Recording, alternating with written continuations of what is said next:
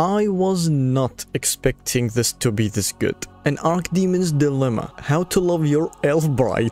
yes, this is the title of the anime. This is a comedy, romance, fantasy anime by Brains Base. The studio behind Defrag, Inspector, Spice and Wolf second season, and To Your Eternity. I went into this anime thinking that it would be meh, just like usual everyday adventure, let's go collect waifus or something. And nope, I mean, technically it's not wrong, but it's the good kind of not wrong. It has a great concept of like this dude being the ultimate simp. His life is probably just like a Discord.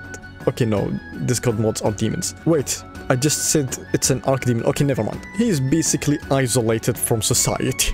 he knows no one other than his overpowered friend, which by the way, he is also overpowered. And yeah, he's uh, he's not probably the best person when it comes to delivery when he's speaking. he might think something and say something entirely different or a way different way that he intended. Also, this guy's friend tells him about like an auction or something and then they go there and the one being in the auction is this elf. And when they showed her, the main character, well, he discovered what a boner is. Yes, it was a glorious moment. And yeah, so basically he bought her with 1 million whatever currency they're doing.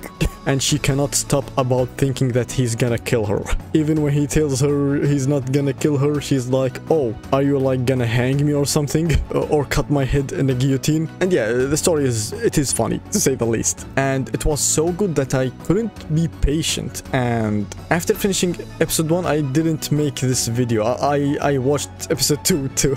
It was just that good. And by the way, by the making of this video, there's also episode 3 and... Uh, believe me, it took a lot of willpower to not watch it before doing this. The characters are really great mainly like the main two. And yeah, we have a new elf to the collection. And I think that animes that take a certain character which has given up on life and basically slowly reshape their lives to probably one of the best lives they could ever have. These animes will always be appreciated. No matter how variations we see, people will always appreciate these kind of animes because you can just chill and be happy. And yep, I really recommend everyone to watch this anime. It is really damn entertaining. It plays with your heartstrings in a good way. That's about it. I'm literally about to press the button to start the new episode and yes, uh, get the fuck out.